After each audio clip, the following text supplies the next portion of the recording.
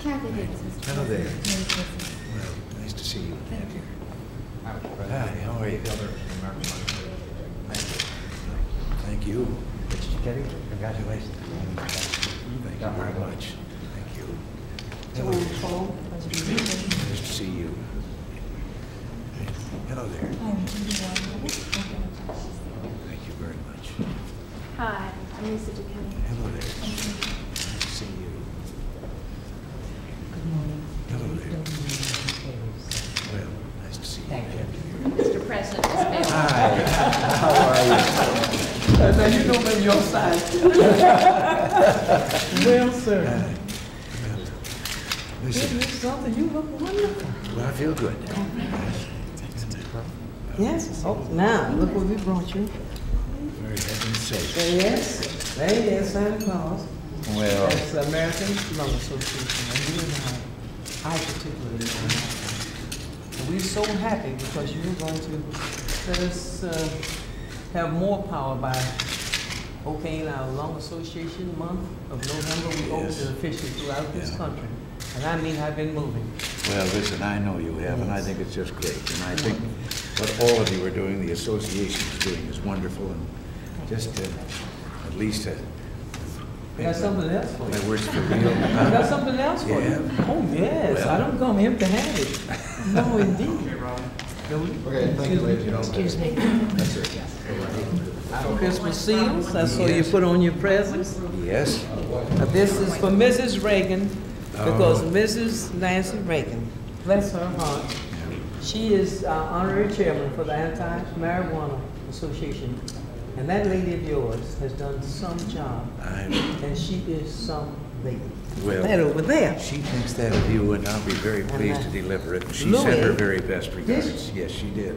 Louis wrote you a poem. No, this is Pearl present. No, that- That's my own Christmas Oh. present. One for you, one for her. And while I was at the Lung Association, we thought of something.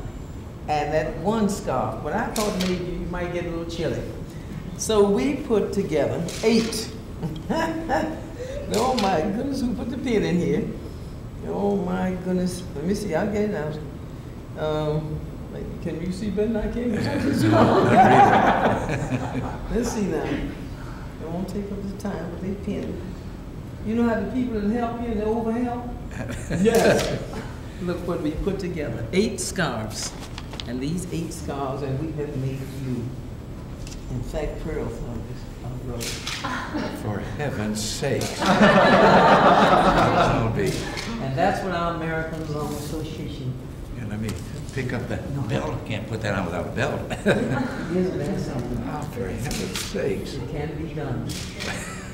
Well, thank you very much.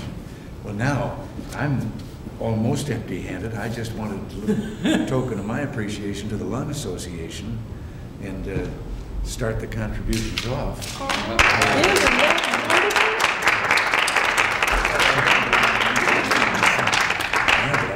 I I feel I'm almost empty-handed in the face of all of this.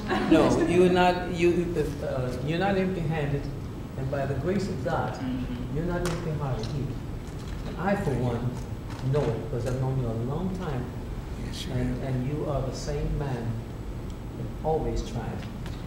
Bless you. However it turns out, you try. Would you have a Thank picture? God. Mr. Why don't you all President, join us? we have a picture Yes. over here with a group with you and Miss Bailey in the center. Just stand close together, face center, face center,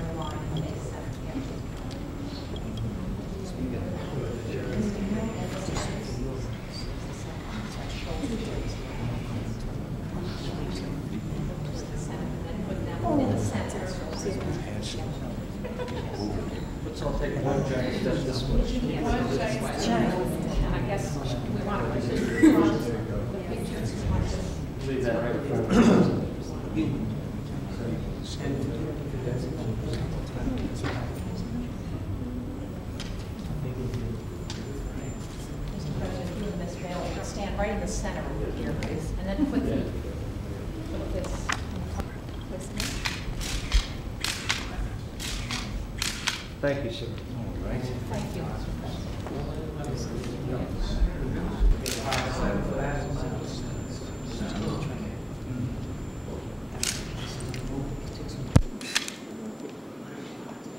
Gentlemen, the President of the United States.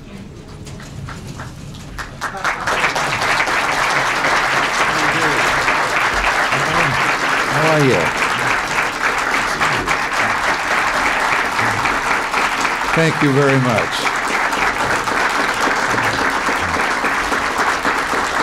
Thank you. Well, I, let me first say how glad we are to see all of you here, but I imagine several others have said that already. I know what busy schedules you have, and I'll bet you one of you here wins the medal for being coming from the farthest distance. California? How are you, Dennis? Uh, but we certainly appreciate your taking these two days to come to Washington and to be briefed on the desperate situation of world hunger. All of us share a deep interest in resolving this tragic crisis that one so staggering it eclipses all others. And we're giving it our highest priority and will continue to do so. Our administration has already provided an unprecedented level of emergency food aid. A tremendous amount of food has been delivered to Ethiopia and other suffering countries, and much more is on the way. Just an hour ago, we announced two more steps the release of 300,000 metric tons of wheat from the U.S. Wheat Reserve and the granting of an additional $50 million in food aid to be made available immediately to those African countries in greatest need. But solving this crisis is beyond the efforts of the United States government and the American people alone. Ending world hunger will require a combined effort of the public and private sectors in productive countries like our own. It'll also require fundamental changes in those countries suffering from famine, a new path leading away from government regimentation and toward greater freedom and incentives for individual citizens to produce more. I called at the beginning of my administration for a new partnership between our private and public sectors. And I have to say the result has been just amazing and confirmed what I've always believed that the people of America, if you just tell them what's needed and point them at it, uh, it gets done. Well, this is an emergency situation where we must put such a partnership to work immediately. I know some companies have already been deeply involved, and I'm told they received awards last night for their work. But I've come to make a direct appeal to all of you. We need your help. We need your time, your expertise, and yes, your capital investment. We need all this in helping to alleviate the short term crisis, and we need it even more in addressing the long term problem, as this is indeed a long term dilemma. There are many areas where you can help to bring about needed change. Building the required infrastructure in the affected countries, such as improved transportation from port to interior, bringing sorely needed management skills to these developing economies, enhancing their food production and food processing sectors, and by your successful business practices, helping to encourage the necessary long term economic reforms. In the end, after all, it will take a freer economy in those countries to meet these grave human problems. We face a tremendous challenge. And I thank you for coming and for giving us your pledge to help all you can. When Americans stand together and work together, that's when miracles begin to happen. So let's roll up our sleeves and get the job done. I know that some of the things our own people who've been there in Africa, Ethiopia, have told of, and maybe you've been informed, that even uh, regarding the, the great amounts of food that we've mentioned here, these literally can only be de delivered to those people who have rallied and made their way to certain dispersal centers. But because of the lack of infrastructure, lack of transportation and roads, out there in the outcountry, there are many millions of people for whom nothing is being done uh, there's just no way to even find and, and locate them. But I recall an America that when there was an earthquake that destroyed Tokyo, an America when it was Belgian relief, and when it was a government that just simply said to the people, uh, here is this problem, and all of those things seem to be taken over and we're done with the private sector. Well, we're a little better in the governmental level now than we were then, and we can do some of the things that I've suggested. But also, I think the real effort, and government doesn't have resources to match it, is when we suddenly call on all our fellow citizens to rally around and alleviate this suffering and this terrible tragedy that's going on. And uh, then I know that there are other things. We've already, in some countries, uh, had success in getting teams of our agricultural experts and our farmers to go and help them find out how they can have something of the kind of food production that we have in our own country. Well, all I can say is thank you all very much for being here, for considering this, and God bless you all.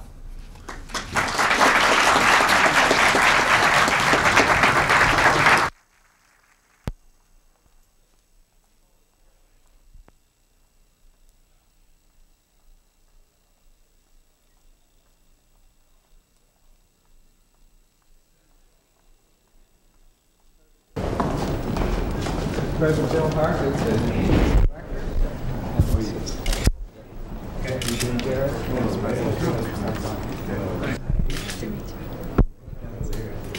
States to see you. Well, I just dropped by to say thanks. I, particularly during the campaign, I how getting out the summary meant that uh, sometimes there wasn't any dead time. And I just wanted to thank you, you how much we appreciate it. Many times that was the only news I was getting, uh, or had time for. So I do appreciate it. And if those, losing those hours of sleep give you too much trouble, why, just go to the cabinet We have one more person who is actually works tonight, Bruce Wilmot, who's not here, sir. We'll miss meeting you. Sorry we missed it. We just wanted to show you, these are the products that you're familiar with, that we do, of course. Yes. We hope you enjoy the Friday Follies. We've never Tell you something. pulled punches on that. I, uh, no, I have to tell you that someplace I've got to check up on uh, someone in the distribution end because I haven't been getting this one. We're going to talk to your I secretary. don't about see it. this. That one, uh, You can take that with You haven't been getting Friday Follies, Mr. President? Huh? You haven't been getting the No. the cartoons? no. Well, let's- I like cartoons. I start the day reading the comics. All right. We get about 100 newspapers every day in here. We file about uh, 45 or so of them. We thought this might look like a familiar headline to you, and we sort Hey, of the saved Dixon over. Evening Telegraph. And uh, this is sort of a, that was a nice one we thought we'd like to see again anyhow, in the top three.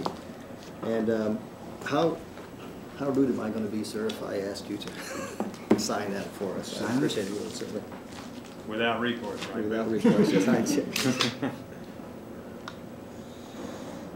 Oh, That's great. Thank you, sir. I have one more thing to show you this way if we can, and uh, that's a little bit of the uh, operation. We transfer that to this, which is known as a grid, and as the White House News Summary is done especially for us. And then through um, a system upstairs and through the uh, White House operators in Walker, we transfer directly to where you are, the ranch or China or wherever. And it goes to you in a matter of, a matter of minutes, which is quite a step up for the district. Mr. President, you know, they were doing virtually hour, hourly updates while we were on the campaign trail, the little sheets we had handed you. Yes, got the oh, no. That had the headlines on it, and that was coming through this and right into the Waka darned. spot by the speech site, you know? You were getting Well, that. Yes, I knew I was a little puzzled how finish a speech someplace and all of a sudden I can almost still hear them clapping and they hand me uh, what the press is saying about the speech. That primarily is it. We do some other things, but not terribly important. And, uh, It's just, it's a great honor for all of us to serve you. Well, I was, uh, deeply grateful to all of you. Thank you. And uh, being from Des Moines, Iowa, I worked at the Des Moines Register one time when you came in there and uh, back from the days and movie star days. And the first time I was ever on radio was WHO in Des Moines. Well, I'll be darned. And the Des Moines Register had its own radio station. Yes, that's right. Yeah. KRQ. Thanks again, sir. Well, listen. Thank you very much. Delighted to be here. See you all and have a chance to say thanks. Thank you, sir. I have such respect for you.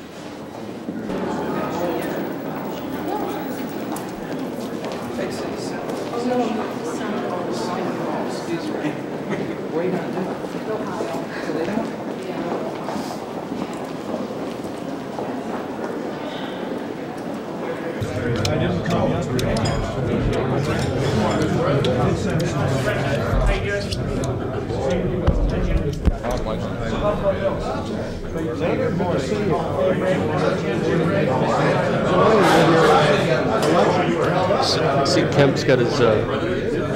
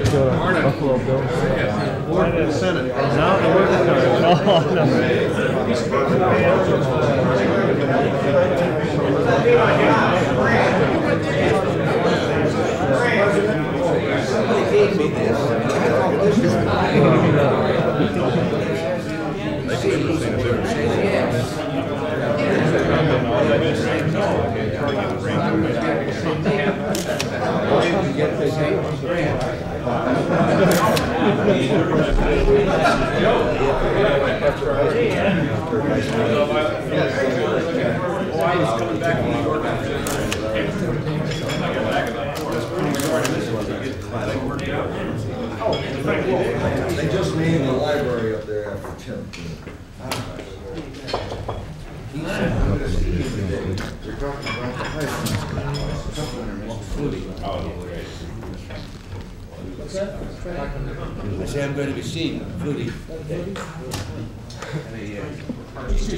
I must say I had a.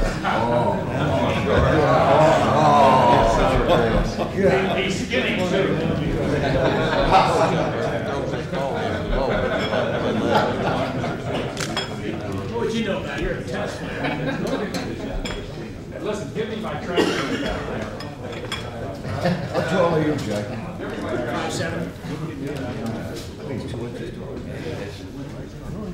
No, I have a great curiosity. All of this stuff about two hundred and seventy-five pounds now. And played football, I was much smaller than I was supposed to be for that position. You see, I like to believe that there's a place in football for some smaller guys. Well, listen. Hey, You play right guard you're or doing. left What? You play right guard or left guard? Right guard. Sure, that up.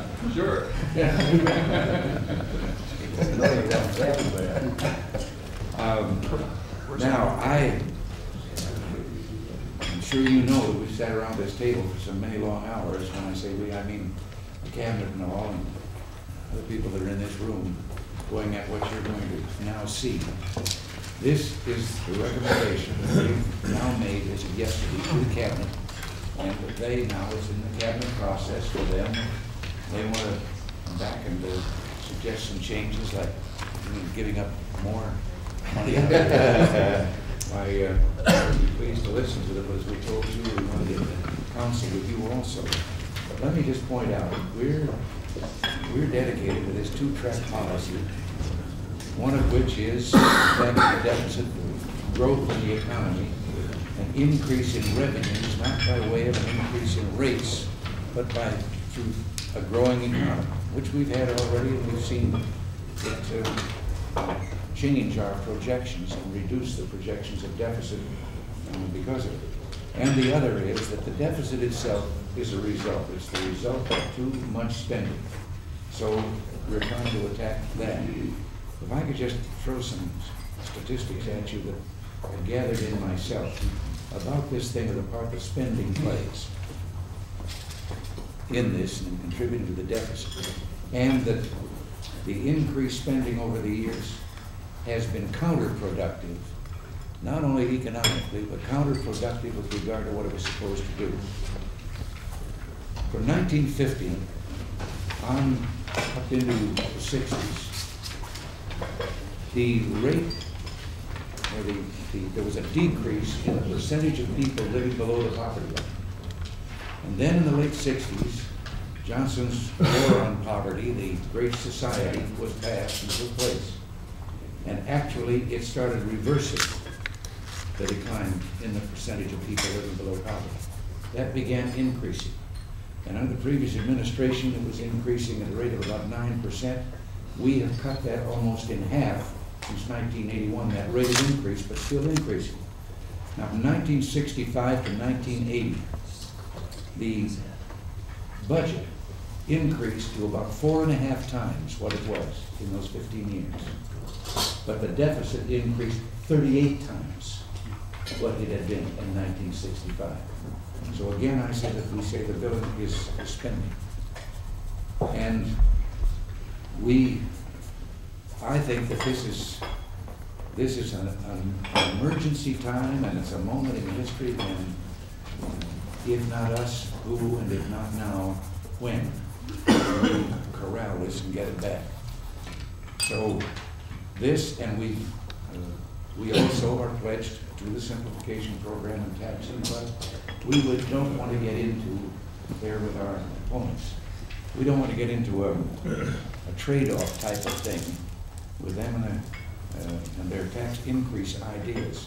So both of these are top priority, but we want to go with this first, the budget matter first. And we've taken one of your suggestions with the idea of encompassing it in a framework of threes, as you will hear when Dave gives you the, the report. The, well, I'll save some other things for the discussion that we'll then have after Davis finished. And uh, I was going to be asked in the first part of the meeting, been, having been through all of this, but I overcome my, overcame my distaste hearing grown men cry. I Decided to join you for the whole meeting. Dave, nice to see you. I know we're a little late getting across the street. We've been whittling at the budget in here, and it was like playing overtime. Appreciate you taking the time out. Well, listen, I'm pleased to do it, and looking forward to the ceremony. We have a- just a little souvenir for you of visit here to the Oval Office. Thank you very much. Yeah, George Bush. Oh, Nice to see you, sir. Is Father Monan with you? Yes, he is. Yes, he is. Come He's with me and uh, my coach, Coach Bicknell, and my family. We're all kind of excited, to say the least. Well, shall we all go across the Walk street where over. we're supposed to go? All right. Our daughter went to BC, Dorothy, so I want to see Father Monan. He's a great fellow.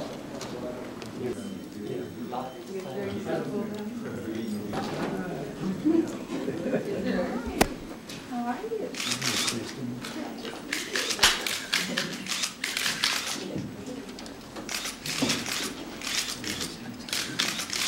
Kristen, this, I'll give this to your mommy and daddy. This is a Johnny Jelly piece. So I know that the- we'll. Mr. President, Yes. thank you very much. This is the family, the Oh, Ellis how family, about that? mother and father. Nice to meet you, sir. This one, nice to see you. Nancy? Hi, how are you? So, Thank you. Mr. President, I'm sure the march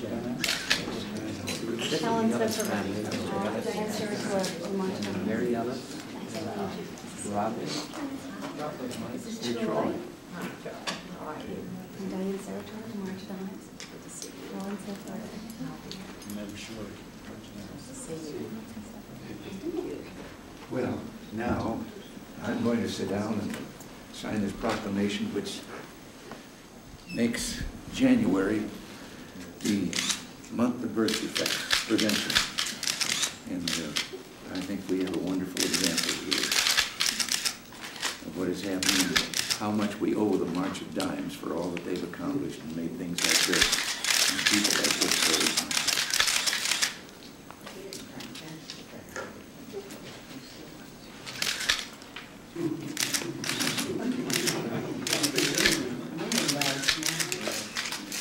There. It's now official. Kristen, it's wonderful to see you here. I really like to ride a tricycle. And I also hear that you like to paint.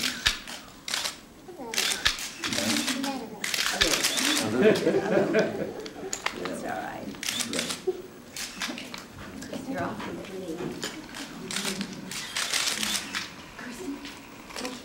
Oh, I understand they want us to come over in front of the fireplace for a picture now. You got a surprise?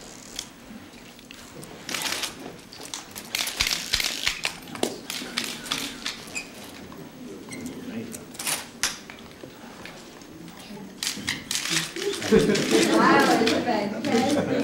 Smile. What'd you?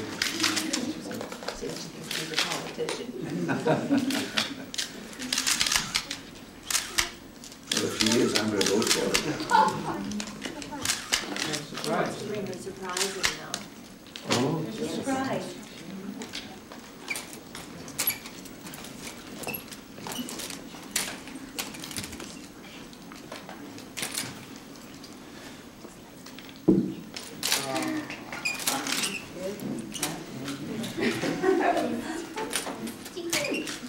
Something I forgot to tell you last night.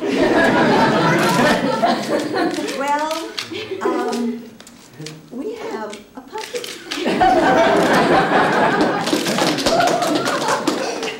I thought that was yours. This is ours? Yeah, I, yeah, I knew I forgot to tell you. I thought I'd wait till, thank you. I thought I'd wait till Kristen got here and, and everybody else was here. Well,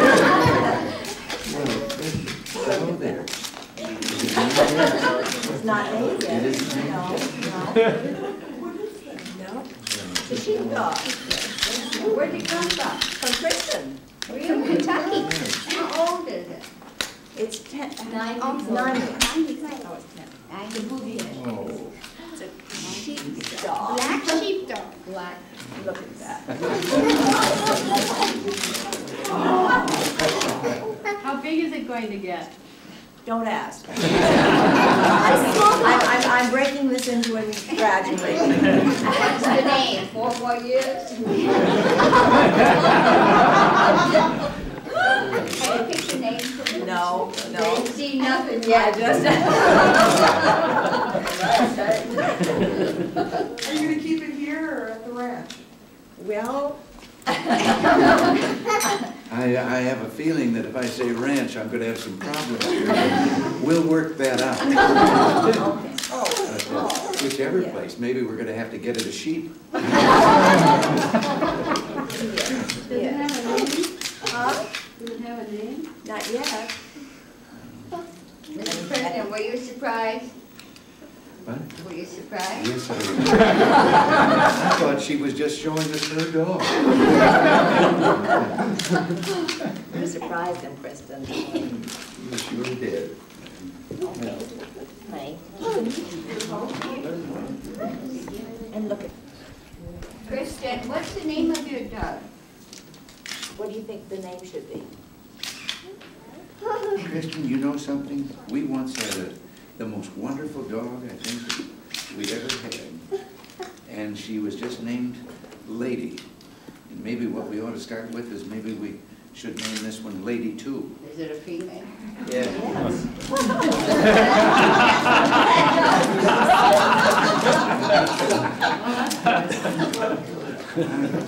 I don't have, I'm sorry, I've run out of time. I have something else. Thank you, Mr. President. Uh, Kristen, thank you very much. This is just wonderful.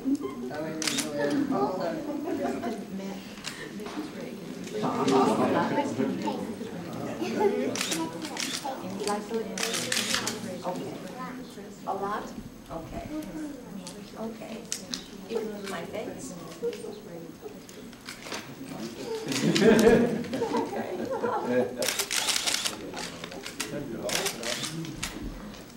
I have to say, my goodness, there's an awful lot of love around here. Yes, There is. God bless you all. Kristen.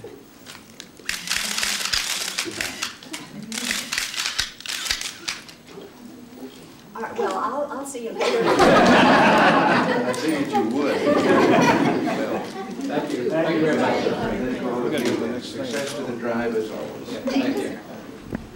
I'm sorry to get to see you. I can see you, saw you Sunday night. I know. Kathy Keeton with Omni Magazine. Hello there. Mary Lebo with McDonnell Douglas. Hello, Nice to meet you. Congratulations. To see you. Thank you. Dave Morgan with Adidas. John McCann, John McCann with Criteria. Good to see you. Jim Gold, Marvin Jones. Ahead of you. Jake Clancy. Nice to meet you, sir.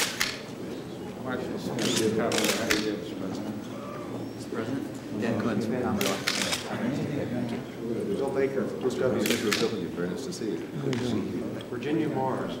David M. Mars. Ken Gotcho. Gotcho. Nice to meet you. Nice to meet you. Buck Barrett from BT Carter. Bob Bradford, the same. Same with Mr. Good to see you. Larry with, uh, Marietta, Martin Marietta. Well, good to see you. Bill Clark, Rockwell. Nice to see you. Wendell Butler, the executive director of Young Astros. Well, I want to thank all of you very much for what you're doing for the Young Astronauts program and the SHIP program can mean with regard to, first of all, our education. I hope will be fired down in the lines of science and mathematics and all that by this program. And I heard also of something called AstroNet. I just thought maybe I could give you a message if you would to put on the network for AstroNet. That's just, we certainly appreciate everything that you have done. It's been a long time since we sat over there and discussed this. And, Now we're, now we're launched, we're on our way. And it's looking good. We've got six out of the schools already. uh, if you were thinking about me, I'll give Bradley. Thank you very much. Did you, did you want A group photo? if we to, could did you want it, or can you? Sure. Is it too wide?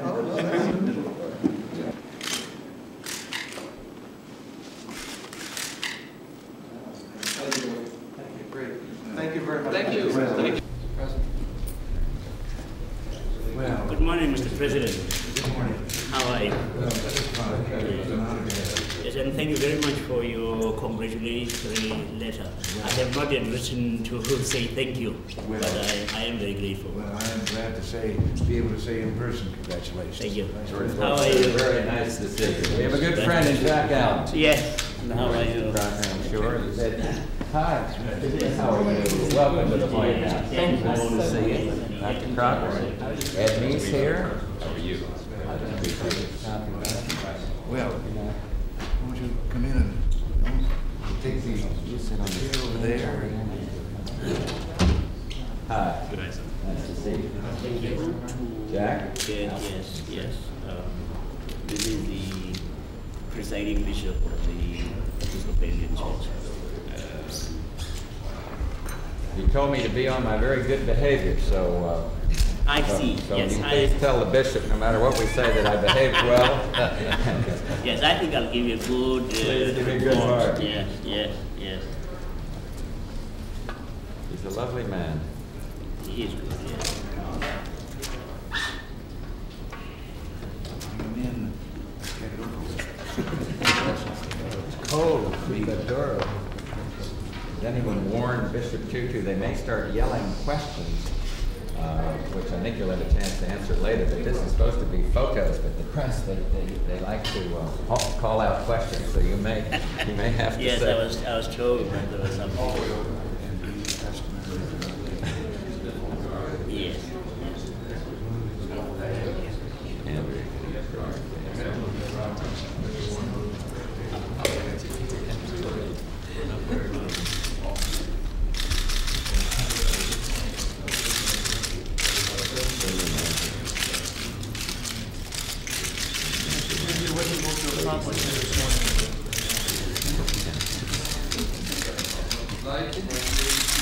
Wait until afterwards. That's well done.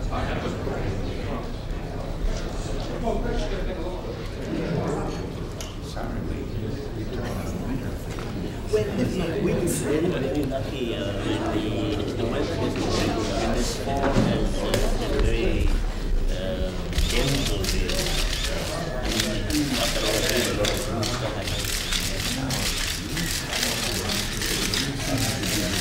Yes, yes, yes, it's summer now. It can get quite bitter. We don't seem to have get uh, snow. It's a phenomenon when it happens. Uh, but uh, in other parts of the Scotland, we could get snow, but it's fine. And you know, gloves and thick uh, coats, etc. quite, quite cold. Uh, but it's a dry, uh, cold. Because we are 5,000 Mr.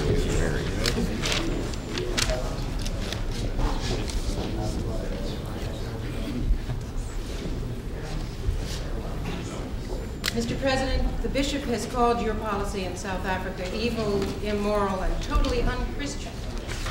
What do you, what are you going to say to him to change his mind? I think this should be the best answer to the question, Andrea, but more than that is later. Will we be able to talk to you later, sir? Yes. When? Much later. Do you think you can change his mind? Um, Well, I've always believed that when people talk to each other instead of about each other, they won't get along just fine. Talk to each other, and I appreciate very much his speaking. Mr. President, do you believe that Iran is collaborating with those hijackers? I'll be taking